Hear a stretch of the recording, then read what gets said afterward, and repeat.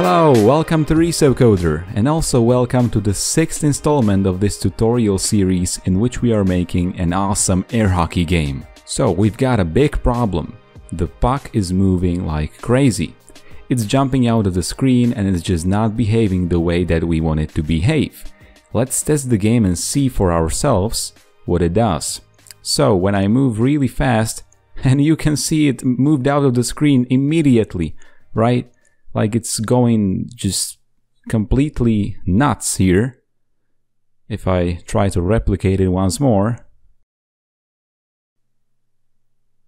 Alright, and as you could see, it again got out of the screen, but because we scored the goal, the puck got reset into the center of the screen and everything is back to normal. But we do not want that to happen because sometimes the puck is not gonna be reset because no goal happens and then it's just out of the screen and we there's nothing we can do about it, right?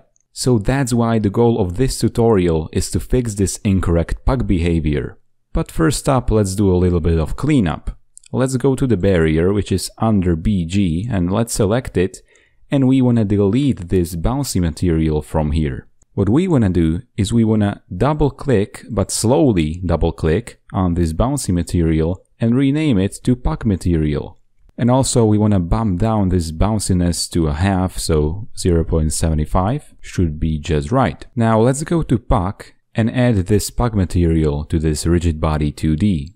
And now I've played around with this for quite a bit and I have found that the most effective and the most easy way to change this incorrect puck behavior to fix it is to just add a rigid body to barrier. We could also just write our own code for doing physics and for raycasting and doing all kinds of crazy stuff, but I think that the most simple way to fix something is also the best way. And that's what we are gonna do in this tutorial and on this channel as a whole. So let's go to barrier again and let's add rigid body 2D. Now this rigid body is gonna be kinematic and its collision detection is gonna be continuous. Now we wanna adjust the maximum speed of the puck. For this we are gonna go to scripts and obviously puck script. Up here we wanna add a public float max speed and all the way down we want to add a fixed update method and inside it we want to limit the maximum speed of the puck. We can do this by using the rigid body velocity, so rb.velocity equals vector2 clamp magnitude and the vector2 that we want to clamp is rb.velocity and the maximum length is going to be max speed. Alright, cool, now let's go to the Unity editor and let's set the maximum speed for the puck in the puck script and we want it to be somewhere around 20. This should be just right and now let's test the game and see that it works flawlessly. So, if I move however quickly, it's just not gonna go out of the screen and I'm just a really poor player of air hockey so excuse me for this, but otherwise, if I try really even really really hard it's just not gonna go outside of the screen. But you just have to test it for yourself because I'm probably yeah you see I'm, I'm going as hard as I can but it's just not going to go outside of the screen which is completely cool and we want it to be just like this So you could see that I really suck at this game, but also playing this game with a mouse also sucks big time, but uh, we are gonna change that because later in this series we are gonna port this game to be available on Android and we are also gonna release it on Google Play, so stay tuned for that. But even after so many attempts to move it out of the screen, the puck is just not gonna go beyond the barrier or beyond the barrier's collider to be precise. But did you notice something while I was playing the game? The puck always spawns inside this circle which is in the center of the screen. Wouldn't it be more correct if the puck spawned on the side of the player who lost the previous round? I think it's more correct to have it that way, so let's change the spawning of the puck. We are again gonna go to the puck script, we wanna go all the way down to reset puck method, and this method is going to accept a parameter. It's gonna be a boolean parameter with name of did AI score. The meaning of this parameter is probably pretty self-explanatory, and now we wanna go up and change these calls to this method to contain the appropriate boolean value. So if the puck hit AI goal collider, then the player scored. So this is gonna be false because did AI score? No, the AI did not score. And here obviously the AI did score. So true. Alright, and now again in the reset puck method, after the code that was written in the previous tutorials, we want to add a if statement, if did AI score, and if it did, we want to set the rb.position, which is the puck's position. rb is just rigid body, but it's cached inside this rb variable. And it's going to be equal to new vector 2. The x-axis is going to be centered, but the y-axis is going to be minus 1. That's because the player is in the lower half of the screen. And if AI scored, that means that we want the puck to be spawning on the player side of the screen, so minus coordinates on the y-axis.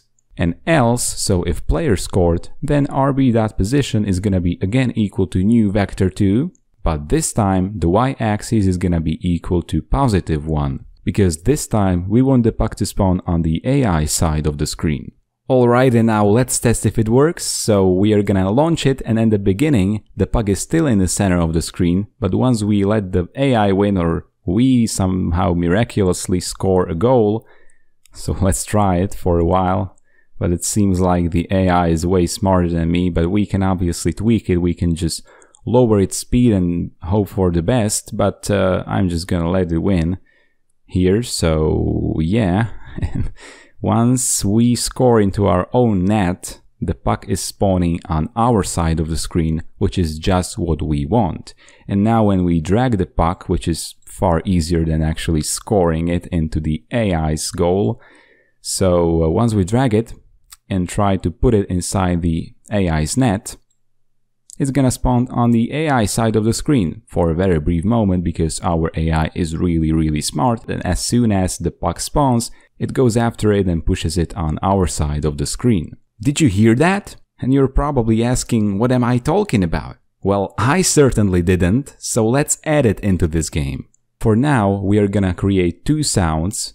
The first is gonna be played on puck collision, and the second one is gonna be played on goal. First up, we wanna go to the Unity Asset Store, and now we wanna type in casual game sounds.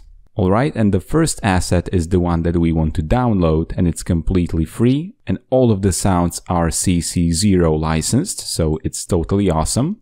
Let's import it into our game and cool stuff. Now we have another folder over here, casual game sounds. Let's go over to scripts folder and create audio manager script. And obviously let's open it up inside Visual Studio. We want to add two fields, public audio clip puck collision then we want to create one private field of type audio source and it's gonna be called also audio source. Cool, now it's a good time to go over to Unity Editor and go to Scene Manager and we want to add over here this audio manager script and we also want to add component audio source. And while we are here, let's also set up these fields, so puck collision and goal, which are audio clips. So puck collision is gonna be the track 21, and goal can be the track 20. You're gonna hear how they sound in just a bit. Now let's go back to the script, and in the private void start, we wanna cache the audio source component into this private field called audio source.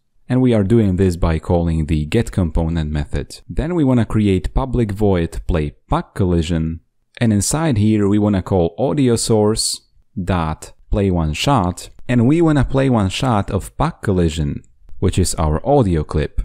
Then similarly, we wanna create a method play goal, which is also gonna be public void. And we also wanna play one shot, but this time we wanna play one shot of goal. Alright, now we have this almost done, and all that's left to do is that we have to go over to PuckScript and create a public field of type audio manager, which is our script, and it's gonna be called audio manager just like this. And now we want to go to the Unity editor and set it up. So let's go to Puck and see the Puck script and there should be an audio manager field over here. And we want to drag the scene manager onto this field. And Unity editor is going to automatically select the audio manager, which is the appropriate script for us. Now back to the code. So we want to play the goal sound each time that the puck hits the net. So just before this start coroutine call, we want to write audio manager and we want to call a method play goal. And we want to do just the same thing inside this else if clause. And what about the collision sound? Well, we want to play this on each collision. So what a better method to put this into than on collision enter 2D? It's gonna be private void on collision enter 2D which is a built-in Unity method that Unity calls automatically for us. And inside here, we want to just simply write audio manager and we want to call the play puck collision method. And now let's go over to the Unity editor and let's test if everything works and hope for the best and immediately you can hear the sound and this makes the game just so much more enjoyable and fun to play. And now when I again let the AI win because I am just a really stupid and poor player of this game, and as you can see, you hear the goal sound, which is totally cool. Or rather, not as you can see, but as you can hear, obviously.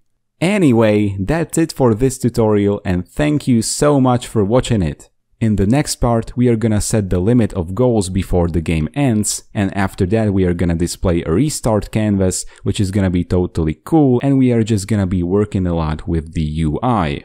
We are also gonna add a simple launch button so the game will no longer start after we press on this play button over here in the Unity editor. And if you don't want to miss that new video or a lot of other videos which I will upload each and every week, be sure to subscribe to this channel and also hit the bell button if you really want to get notified about each video. Also, if you enjoyed this video and if it helped you, be sure to give it a like and also share this video with others who will find value in this.